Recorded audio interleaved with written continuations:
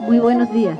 Ajá, bueno, el Centro, de el Centro Internacional Miranda y el Ministerio de Educación eh, Universitaria tiene el placer de presentarles la Cátedra Libre Bicentenario con la conferencia El amor entre Manuela y Simón a 200 años del encuentro.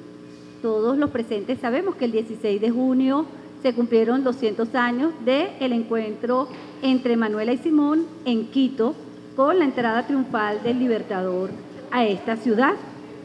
Eh, hoy tenemos un invitado muy especial. Hoy tenemos al compañero Juan Eduardo Romero Jiménez, diputado de la Asamblea Nacional y miembro de la Comisión Permanente de Seguridad y Defensa de la Nación. Juan Eduardo Romero Jiménez es historiador, es doctor en Historia Contemporánea de América Latina, docente de la Universidad del Zulia, investigador y especialista en procesos políticos contemporáneos. Además de director nacional del Centro de Investigación y Estudios Políticos y Estratégicos y miembro de la Red de Historia, Memoria y Patrimonio del capítulo Zulia. Pues sin más preámbulos, vamos a explicar un poco la dinámica del día de hoy. Nosotros vamos a escuchar alrededor de 45 minutos al doctor Juan y eh, luego podemos hacer preguntas que la compañera va a estar pasando los papelitos para que hagamos la pregunta por escrito. Eh, se responde el ciclo de preguntas y respuestas y culminamos la actividad. Así que bueno, un placer para el Centro Internacional Miranda presentar al compañero Juan Eduardo Romero Jiménez.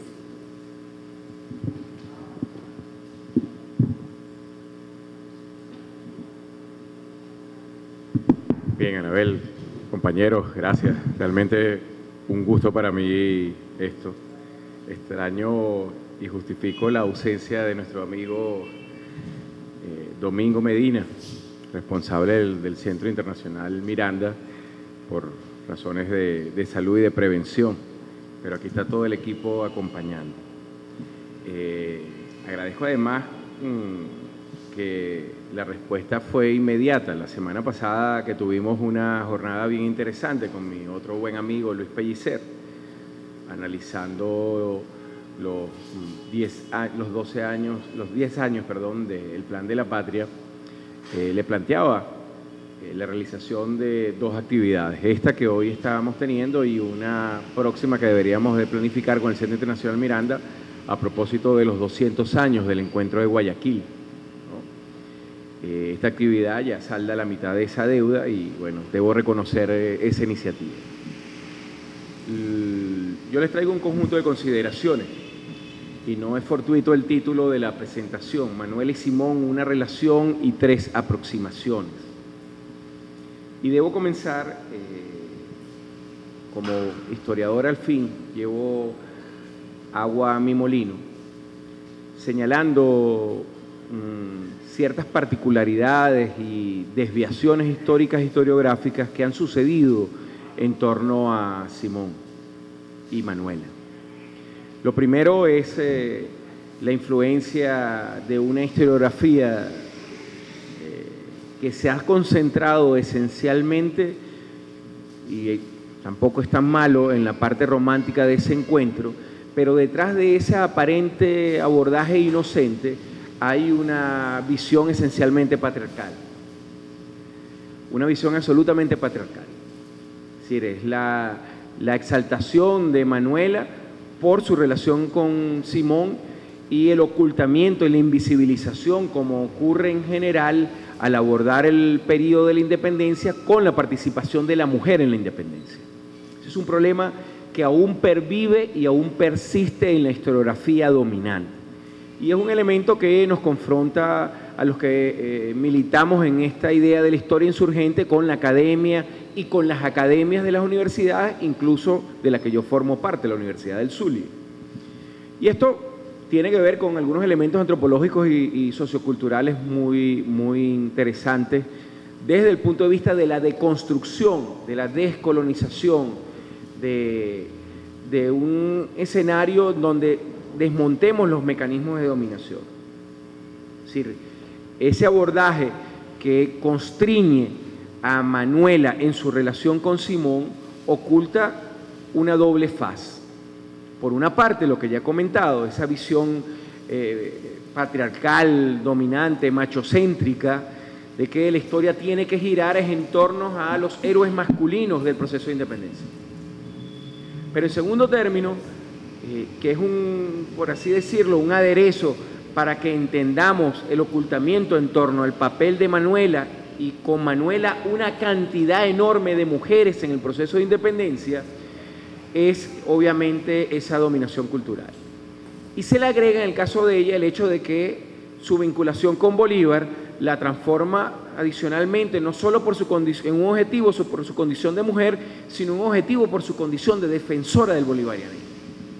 Entonces esto es un tema sobre el cual creo que hay muchísima tela aún que cortar, hay muchísimo que hacer en términos historiográficos y que, lo comentaba ahora con Anabel, pasa incluso por cómo se ha intentado desvirtuar la, memoria de Manuela. Como ustedes saben, eh, el, diario de Manuela y el diario de Paiva aparecen públicamente eh, muy entrado el siglo XX. En 1995 se hace la primera edición pública de, esas comunicaciones en, América Latina, 1995. Es decir, eh, estuvieron más de 150 años ocultos por una historiografía que insiste, que persiste, no solo en la, en, la, en la, visión patriarcal, sino que insiste en la minimización, en la reducción del papel de Manuela y de las mujeres como simples acompañantes de los grandes héroes.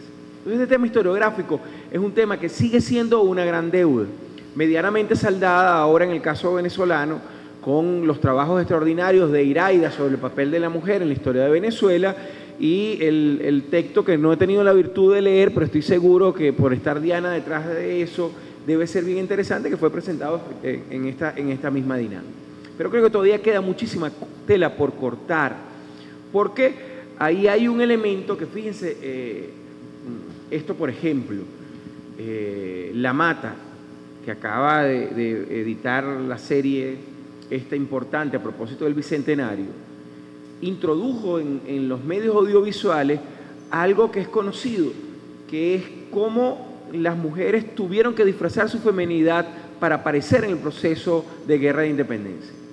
Y hay cosas que todavía siguen pasando muy por debajo, por ejemplo. Fíjense, hay una coincidencia terrible entre dos polos de la confrontación, Pablo Morillo y eh, Santander, Francisco de Paula Santander. Ambos emiten en un momento de la guerra de confrontación sendas órdenes para limitar el acompañamiento de las mujeres en los procesos de confrontación bélica.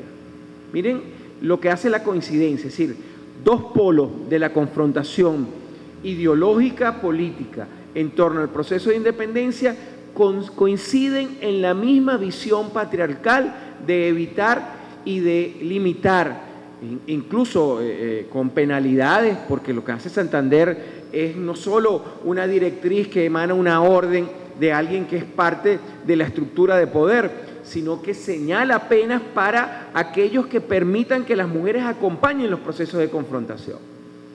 Y eso, insisto, eh, plantea un tema que sigue teniendo total vigencia. Yo vengo diciendo hace muchos años que lo que conecta la revolución bolivariana, esta revolución, este proyecto bolivariano relanzado con la revolución de la emancipación bolivariana del siglo XIX, son lo que yo llamo tres problemas no resueltos el problema de la participación, el problema de la igualdad y el problema del acceso a la propiedad privada. Son tres problemas no resueltos que han generado derivaciones muy importantes. Fíjense que en tema de la participación, la confrontación de Chávez con, eh, el, con el capitalismo, si bien tiene una versión geopolítica, tiene otra versión desde la filosofía política. Es la confrontación de Chávez sobre la idea de democracia y el intento a través de la Carta de la Organización de Estados Americanos y de las declaraciones de la Cumbre de las Américas de insistir solo en la democracia representativa y poner a la democracia representativa como un modelo único en nuestra América. La confrontación abierta de Chávez, que si bien comienza con su negativo en 1999 de dejar desembarcar tropas que bajo la figura de apoyo a desastres naturales pretendían llegar al territorio venezolano, adquiere una profundidad inusual en 2001 cuando dice Chávez en la declaración final de la cumbre de Quebec, EPA, nosotros no apoyamos esa declaración porque la democracia venezolana constitucionalmente no es representativa. Entonces, el problema de la participación es un problema que sigue teniendo eh, peso. Y si no, vean ustedes, el Partido Socialista Unido de Venezuela en los últimos procesos ha tenido que imponer la norma que las candidaturas para consejos municipales, eh, eh, consejos legislativos, diputaciones, tiene que ser hombre y mujer. Y eso muestra la supervivencia, la permanencia, como muy bien lo, lo, sabemos, de los mecanismos de dominación del patriarcado. Y eso va a la historiografía también. Nuestra historiografía sigue siendo una historiografía que obnubila, que invisibiliza, que oculta la participación de la mujer en el proceso de independencia y la constriñe a acompañamiento de las tropas en el desplazamiento a lo largo del territorio. Y hay infinidad de textos, no solo en Venezuela, no solo en Venezuela, insisto con el texto de Iraida Vargas, que es de los más conocidos, pero de historiadores en México, en Centroamérica, en Argentina, en Chile, que hablan por lo menos de cuatro o cinco campos en los cuales las mujeres participan activamente. Fíjense, por ejemplo, Humboldt en sus memorias, cuando recorre lo que era parte del actual Ecuador, señala cómo las tertulias, en las tertulias en Quito, la participación de la mujer con un elemento muy fuerte, teórico, de lectura, es muy importante. Humboldt, siglo XVIII, siglo XVIII. Garibaldi, que recorre América en un, proceso posterior a, a 1830, señala que en su encuentro con Manuela queda asombrado del, manejo que Manuela hace de la filosofía. Y eso es un tema poco oculto. Es Manuela la irreverente, es Manuela la mujer que se atreve a volver a Bolívar su amante, porque Bolívar es el amante, no se les olvide, ella está casada con Tono, el amante es Manuela, y si ustedes revisan las comunicaciones del Libertador, hay cantidad de comunicaciones de su entorno que le llaman la atención de cómo afecta a Bolívar, la prestancia de Bolívar, que él sea el amante de Manuela. No importa que Bolívar en su paso arrasara con cuanta mujer se le viniera por delante, pero él no podía ser la amante de una mujer casada. Bolívar sí, es permisible en esa lógica patriarcal. Y hay comunicaciones de sus generales diciendo que corte con Manuela que se distancie de Manuela, que le perjudica en su prestigio, porque Bolívar es el amante de Manuela. Vean el manejo y lo que eso significa en términos de la vida política de la época y en términos de la historiografía. Eso es un, elemento que yo creo que todavía debe ser abordado eh, eh, contundentemente. Luego está lo más evidente.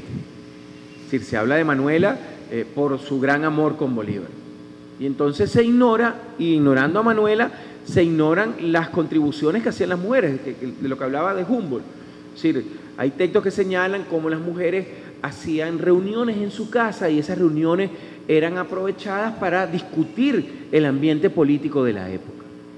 Hay cantidad de testimonios de cómo las mujeres fueron de las mejores espías por su condición social, mujeres de la élite, mujeres populares, en, Memorias de la Insurgencia, por ejemplo.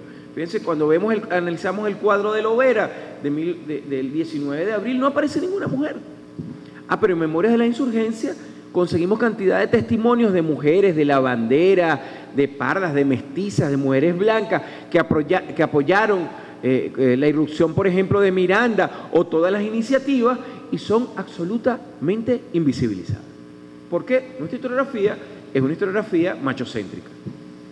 Sigue siendo una historiografía machocéntrica. Y eso es un problema que nosotros no hemos abordado con la seriedad y la responsabilidad que se corresponde. Porque además, y esto es muy típico de estas revoluciones y otras, nos declaramos profundamente abiertos, pero en la práctica seguimos siendo profundamente patriarcales.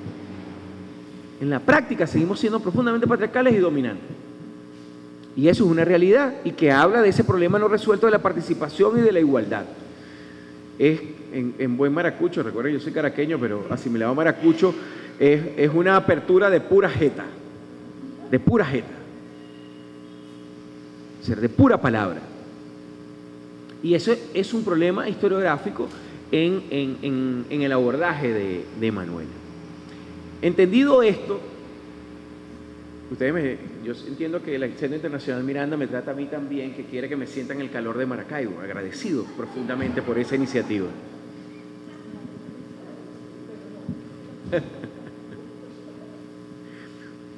Eh, sobre eso, sobre esas consideraciones, es que yo hago eh, tres aproximaciones que no son las naturales desde el punto de vista eh, historiográfico. La primera aproximación y la más contundente es que Manuela tiene su propio recorrido patriótico. Manuela no es la mujer que convierte al libertador en su amante, Manuela no aparece en, eh, en el proceso de independencia con su encuentro en Bolívar en 1822. Ya Manuela existe y desde su existencia misma, eh, Ortega y Gasset decía que, eh, también una visión muy, muy machocéntrica, que el hombre es él y sus circunstancias. Bueno, Manuela es la mujer y sus circunstancias.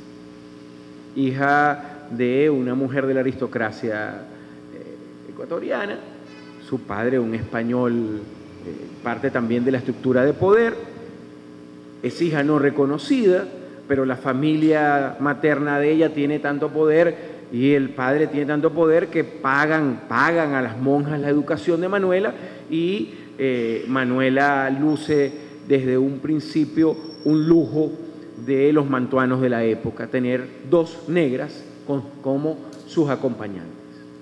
Tener pardos y mulatos eh, en el periodo colonial era algo muy normal. Pero tener a su servicio permanentemente dos, eh, en este caso dos mujeres esclavizadas, afrodescendientes, era una muestra de prestigio. Conataz y su otra compañera la acompañan desde niño. Y Manuela, por esa circunstancia personal, por esa circunstancia personal de ser de hijo de un hombre que es parte de la estructura de poder colonial, y de una familia de, prestigio, es sumamente rebelde desde un principio.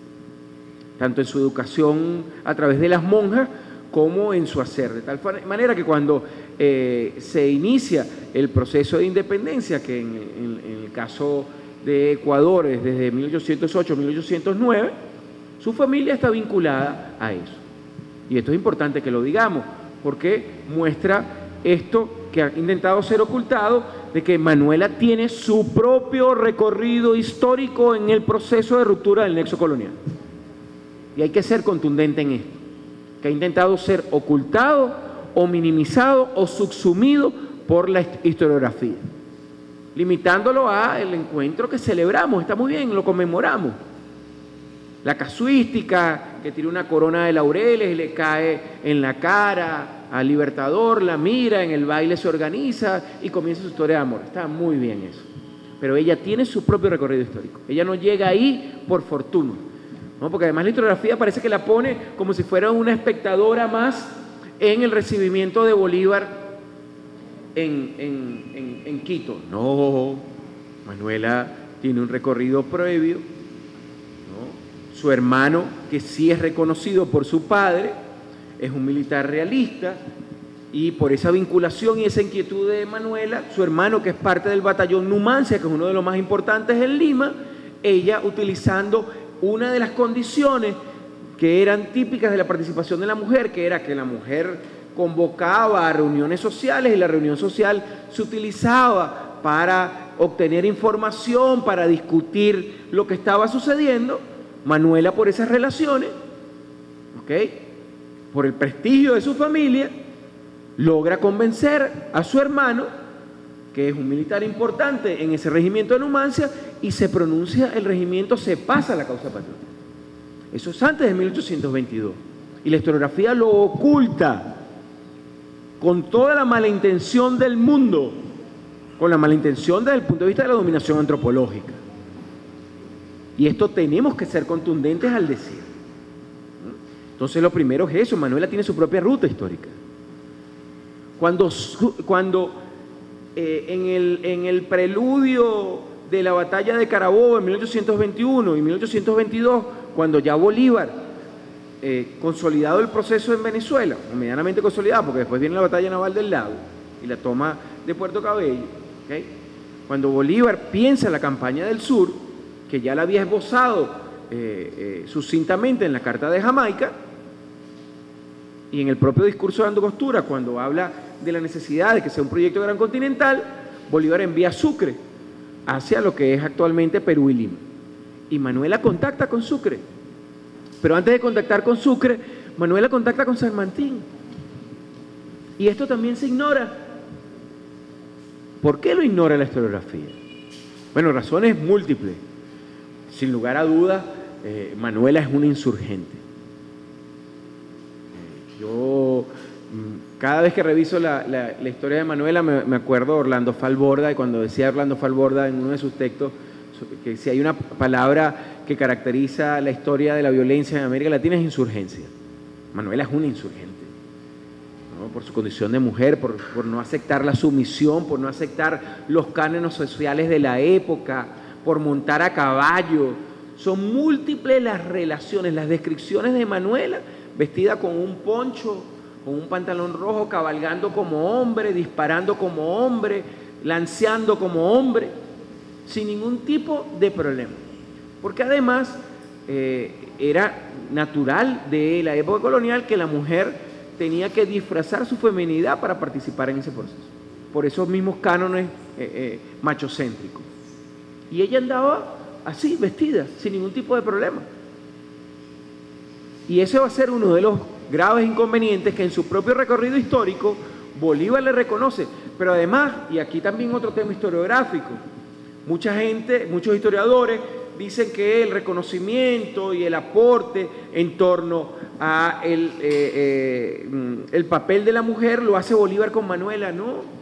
En la campaña admirable hay, hay eh, cartas de Bolívar en la campaña admirable reconociendo el valor de las mujeres trujillanas, por ejemplo, y el papel que ellas hacen en, la campaña admirable. 1813, Bolívar conoce a Manuela en 1822. Entonces, el, intento de la historiografía tradicional de ocultar elementos en torno a Bolívar y Manuela no es nada nuevo.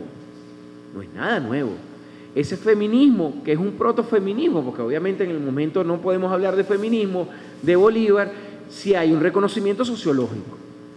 Bolívar tiene una gran capacidad sociológica de comprensión y antropológica que se adelanta muchísimo a lo que es el establecimiento de, la propia, eh, de las propias teorías sociológicas de comprensión de la realidad. Y esto también es importante que lo, que lo digamos. Pero insisto mucho en los esfuerzos que han sido constantes de limitar eh, la relación de Bolívar y Manuela a una visión romántica, plena de, sensualidad y sexualidad, que está muy bien, incluso de, cosas súper cómicas. Yo no sé si ustedes han leído bien las cartas de Manuela y Simón, hay una carta de 1823, eh, Simón llega a Lima y Manuela se aparece de imprevisto, y es la famosa anécdota donde lo rasguña y lo araña y lo muerde, ¿no? Y lo rasguña y lo muerde porque ella llega sin avisar a la habitación de Simón y le consigue un arete de mujer que no es de ella y se pone como una furia, dice él en, el, en, el, en, su relato a Oleari en la carta. La primera carta, es una típica eh, eh, ocurrencia criolla de Bolívar, la primera carta él escribe, mi muy querida Manuela, Vamos a dejar que esto se interponga entre nosotros, este pequeño detalle. Así que compañeros, ya sabemos, si nos agarran en doble play, le escribimos a nuestras queridas que por favor olviden ese pequeño detalle. una cosa sumamente ocurrente porque la primera carta, le dirige como ocho cartas, y la primera dice, pero obviemos el pequeño detalle del zarcillo que conseguiste en mi cama. ¿Qué quiero decir con esto? Insisto de nuevo que la relación se constriñe a las cartas de amor, que son una cuestión interesantísima desde el punto de vista del análisis del discurso. No estoy negando la importancia de, de esa perspectiva, pero su reducción elimina aportes que son exaltables y que tienen que ver con elementos que toda revolución, si es revolución verdaderamente cultural, debe exaltar, que es el papel primordial de la mujer.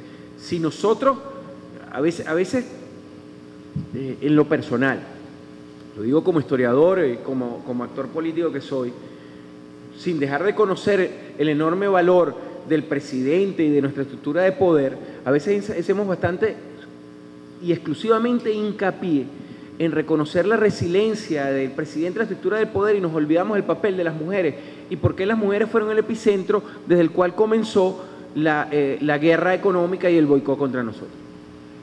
Y es que perviven esos atisbos de esa visión patriarcal. Entonces reconocemos al presidente, está muy bien, es cierto, su conducción, reconocemos a Diosdado, reconocemos la estructura de, poder del Estado, pero no lo hacemos con la misma vehemencia al reconocer que es la mujer la que resistió aguas abajo, que es la mujer la que hizo eh, malabares en la estructura íntima del hogar, en las organizaciones de nuestras de base, ante la carencia de harina, ante la carencia de harina de trigo, ante la carencia de arroz, ante la carencia de los 20 insumos de la cesta básica que Empresas Polar y otros elementos de la, estructura de eh, poder gran nacional utilizaron contra nosotros. No lo decimos con la misma claridad ni con la misma firmeza. Y eso es un tema que debemos ser profundamente críticos en mi criterio. Estoy hablando aquí como historiador, estoy hablando en mi posición como estudioso del tema histórico. Entonces, bueno, eh, Manuela, mucho antes de 1822, tiene una participación. De hecho, fíjense, y de seguro que ahora lo, vamos a minimizar también. Cuando el, el 26 de julio conmemoremos los 200 años del encuentro de Guayaquil, vamos a hablar mucho de Bolívar y de San Martín. Y no vamos a hablar para nada de las comunicaciones que Manuela le dirige, que son como 15 cartas, donde le describe a Bolívar la personalidad de San Martín. Porque resulta que Manuela, por ese papel de ser parte de la sociedad elitesca, eh, pero republicana, y que convocaba reuniones en su casa y tenía relaciones y eh, comprometía a otras mujeres, era muy amiga de Rosa Campuzano, que terminó siendo eh, pareja de San Martín. Entonces ella cohabitaba, tenía una, relación con Rosa y a través de eso Manuela conoce a San Martín y a través de eso, y, San Martín la reconoce, fíjense ustedes, le da la orden eh, eh, caballeresa del sol, mucho antes de que conozca a Bolívar y eso también es ocultado. ¿Por qué le da la orden caballeresa del Sor San Martín? Ah, porque había logrado el pronunciamiento del batallón Numancia, había convocado en su casa constantemente reuniones sociales donde se deliberaba. Daniela ahí, eh, Manuela ahí mostró algo que la caracterizó hasta el final de su vida, que es su gran capacidad de espionaje, de establecer otras redes de mujeres y obtener información. Por ejemplo, pasa desapercibida las comunicaciones de Manuela con José Flores, presidente de Ecuador, y pasa desapercibida el papel de Manuela en la contención de las visiones militaristas que hasta el día y antibolivarianas que hasta el día de hoy caracterizan a la sociedad militar y civil peruana contra Bolívar. Y ella es clave en esa primera confrontación que hasta el día de hoy se mantiene entre Perú y Ecuador por intereses limítrofes. Y hay cantidad de comunicaciones entre Manuel y Juan José Flores. Aunque, vean ustedes, uno de los cuatro perros que va a tener Manuela lo denomina Flores porque decía que eran los cuatro traidores. Santander, eh, De la Mar eh, y Páez. Cuatro canes que tenía Manuela hasta el final de sus días y que decía que eran los cuatro perros que habían desintegrado el proyecto bolivariano. Pero esas comunicaciones entre Juan José Flores y Manuela, advirtiéndole de los esfuerzos que desde Perú se hacían para una confrontación con Ecuador, la historiografía las ha silenciado. Ah, porque es contra Manuela el papel de la compañera de Bolívar. Y eso significa el ocultamiento del, segundo rasgo que caracteriza la participación de las mujeres, que era su capacidad de hacer inteligencia y contrainteligencia. El tercero, si es más conocido, rasgo de las mujeres, que también tiene que ver Manuela, que es servir en la infraestructura, facilitar, financiar. Eso es otra cosa. Manuela financió del peculio de su familia y del peculio familiar con Thor a el ejército patriota, comprando armas, pagando vituallas, eh, comprando caballos, etcétera, y eso oculto también. Era la tercera forma que las mujeres tenían de participar. Y era la forma de participación en esa ruta patriótica que es el recorrido de Manuela, y no solo de Manuela, sino de cantidad de mujeres. Recuerden el, caso de las tres mujeres que participan en la batalla de Vichincha, que son muy, muy reconocidas, de las cuales hablaré en su momento. Pero lo que quiero en esta primera aproximación es señalar que Manuela tiene su propio recorrido entre, entre el inicio del proceso de independencia y su encuentro con Bolívar.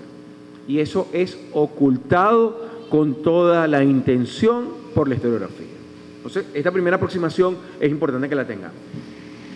Insisto, no está mal que, que nos guste el romanticismo y la sensualidad de sus cartas, pero reducir a Manuela a esa parte romántica no es más que un mecanismo de dominación, un mecanismo de subordinación, un mecanismo de invisibilización del papel de la mujer y de invisibilización del papel de Manuela y de otras tantas mujeres. ¿Qué cantidad de mujeres no estarán en los archivos de, eh, eh, de causas de infidencia que existen en todos?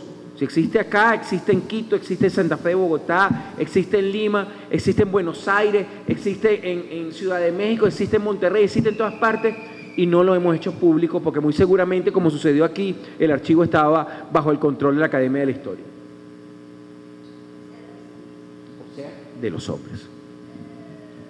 ¿No? Entonces, eh, eh, es importante esta primera aproximación en mi criterio.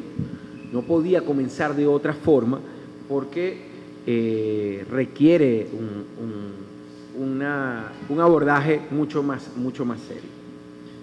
Entonces, Manuela existe antes de su encuentro con Bolívar en 1822 y está enormemente influenciada por el ambiente revolucionario de la época, a pesar de las trabas de su origen, y esto también debemos decirlo.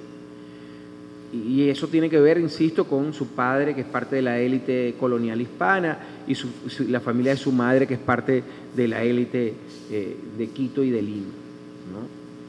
Eh, y ella va a jugar un papel muy, muy significante y muy significativo hasta el final de sus días. Hasta el final de sus días. La segunda aproximación es quizás la que más abuso ha tenido en torno a Manuela en mi criterio, que es el de la mujer combatiente e intelectual. Es la que más eh, fieramente en mi criterio ha sido atacada, mucho más que su tercera aproximación, que es la de la mujer del proyecto bolivariano. Porque obviamente el ataque aquí tiene que ser furibundo, porque Manuela es la representación de la no sumisión, de la no obediencia, de la insurgencia, del papel activo de la mujer, de lo que ha intentado por siglos y siglos de la historiografía dominante de ser oculto, que es que la mujer fue más vital que el hombre en muchas de las operaciones de la guerra de independencia. Y entonces se le, se le sujeta y se le reduce siempre al acompañante, Luisa Cáceres es la mujer de Arismendi. Manuel es la mujer de Simón. Y ya. Y esto es un, tema gravísimo, gravísimo desde el punto de vista de lo que llamamos la historia social, la historia de las ideas. Porque Manuela es el ejemplo de la cantidad de mujeres que se vieron forzadas a enmascarar su feminidad para combatir. Para combatir. Segundo, la relación con el libertador le facilita, a Manuela la obtención de cargos, pero ella es una anomalía histórica. Las otras mujeres tuvieron que disfrazar totalmente su feminidad para combatir y algunas de ellas murieron disfrazadas de hombre. Manuela no.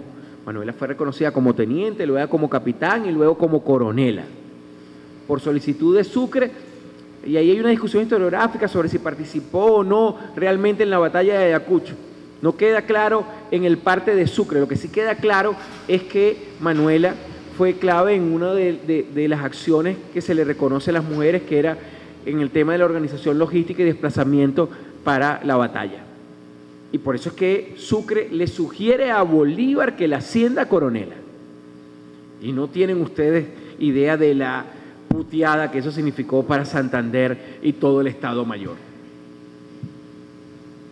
La indignación de verla a ella vestida de coronel después de 1824, después de la batalla de Ayacucho y el reconcomio que eso significó en una sociedad tan clasista como en la sociedad colonial, tan dominante, y contados estos eh, gorilas disfrazados, y me perdonen los gorilas, los animales por la comparación que habían en el Estado Mayor de Bolívar. Unos cromañones. Si alguna vez tenemos que buscar el eslabón perdido, consigámoslo en el Estado Mayor de Bolívar. Sin lugar a dudas, es el eslabón perdido en la transición del hombre al mono. Eh, entonces, Manuela no era el único caso. Yo les hablaba a ustedes de tres casos reconocidos en la batalla de Pichincha. Nicolás Jurado, Gertrudes Espalza y Manuela Jiménez, que participaron y fueron después reconocidas, pero disfrazada su feminidad, porque no se les permitía marchar.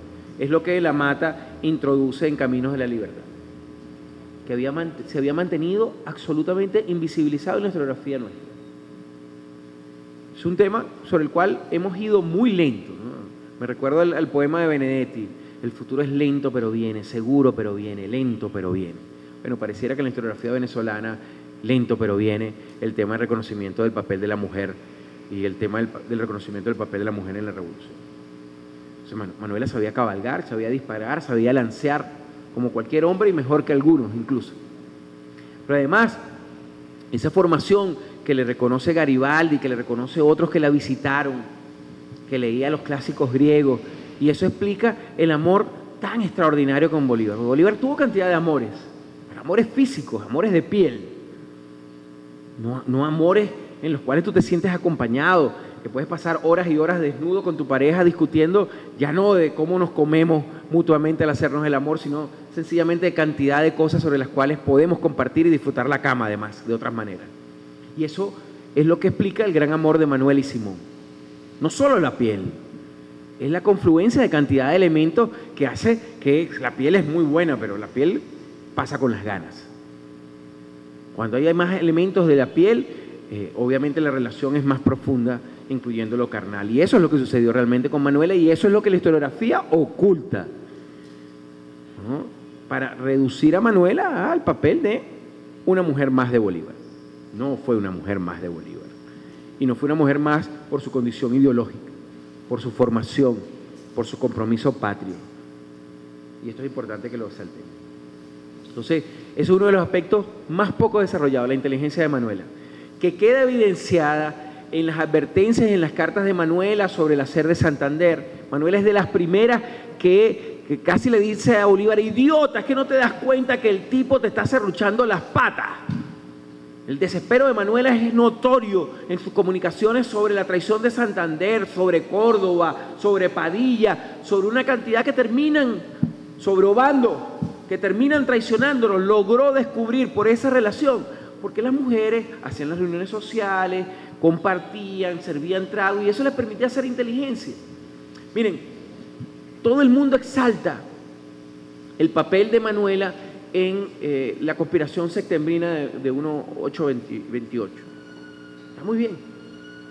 Pero la propia Manuela reconoce que es otra mujer la que le advierte.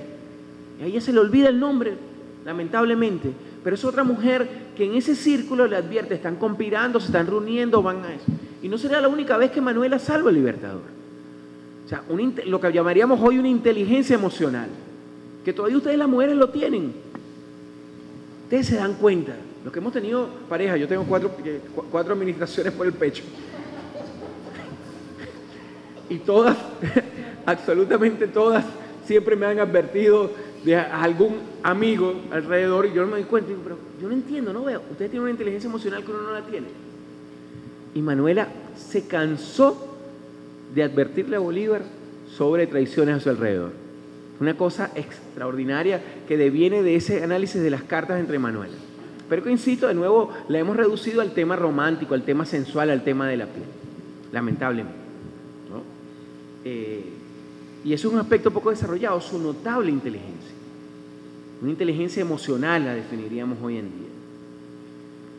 Su participación en la organización, no solo es el Numancia, sino en la propia campaña que va a conducir a, a Sucre hacia Pichincha.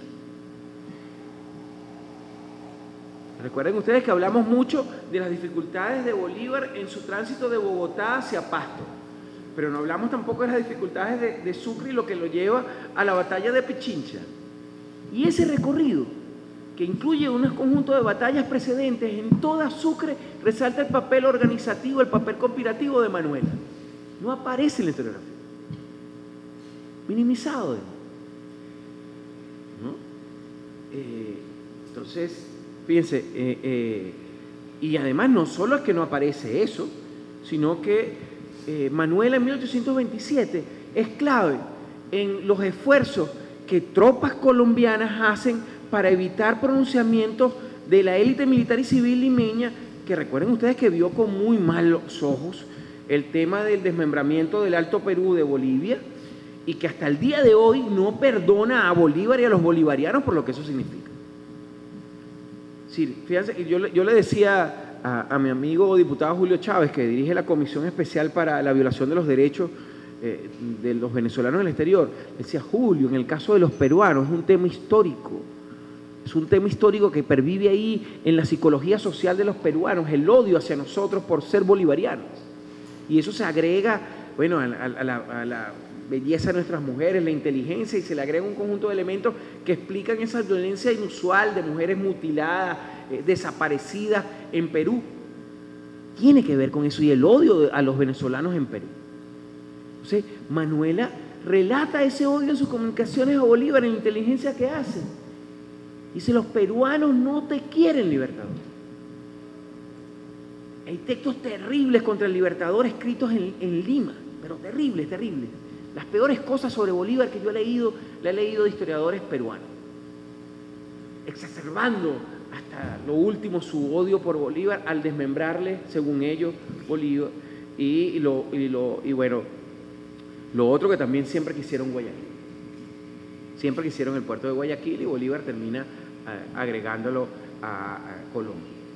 Pero en 1827 hay comunicaciones de Manuela con responsables militares, lo cual hablaba del prestigio militar que se había ganado. Es el, segundo ocultamiento de esta aproximación.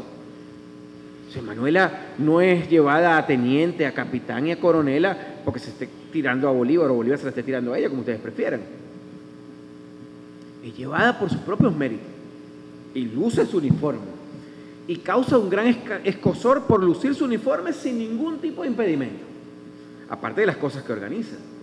Uno de los relatos es que eh, en, los preludios a, la conspiración septembrina organizó en Bogotá una fiesta y, y carbureada, como decimos en, Maracaibo, eh, disfrazó un muñeco vestido de Santander, lo, sentó e hizo que los soldados eh, simularan un fusilamiento. Eso causó un gran revuelo, pero ya Manuela tenía información de la conspiración en la cual Santander, sin participar activamente, sabía y se hizo el loco. Fíjense de hecho que uno de los pocos grandes problemas que tuvo Bolívar con Urdaneta, que fue uno de sus más fieles, fue que eh, Urdaneta le decía, fusila Santander, hermano, fusílalo, quiebralo antes que te friegue. Porque Maracucho pendejo se muere pequeño. Y Urdaneta no era la excepción. Entonces, se murió muy viejo, claro. Maracucho pendejo se muere chiquito, no muere chiquito. Bueno, luego entre 26 y 28 hay una propia participación desde Bogotá de Manuela muy importante para denunciar las conspiraciones de Santander y eso también pasa oculto. Incluso en 1830, cuando las, las, las botan de, de Bogotá, la botan de Bogotá porque ella conspira con Urdaneta. Recuerda que Urdaneta da un golpe de Estado en 1830, intentando preservar el proyecto bolivariano. Y Manuela es parte de esa conspiración, parte activa, por el mismo hecho de que en la sociedad bogotana, siendo ella de la aristocracia limeña, muy respetada, y si hay otra sociedad, aparte de la limeña, más elitesca en la sociedad bogotana, hasta el día de hoy hasta el día de hoy. Es como la valenciana en el caso de la historia de Venezuela. Y eso es un tema que también esta segunda aproximación es ocultada. O sea, la segunda aproximación es la más importante, porque es la Manuela combativa, es la Manuela intelectual, es la Manuela decidida, desaparecida prácticamente de la historiografía venezolana. ya, ya termino con la última aproximación. La tercera es la más común. La mujer apasionada que rompe los tabúes de la época la mujer que le dice a Bolívar y que Bolívar relata con toda la pasión sus encuentros.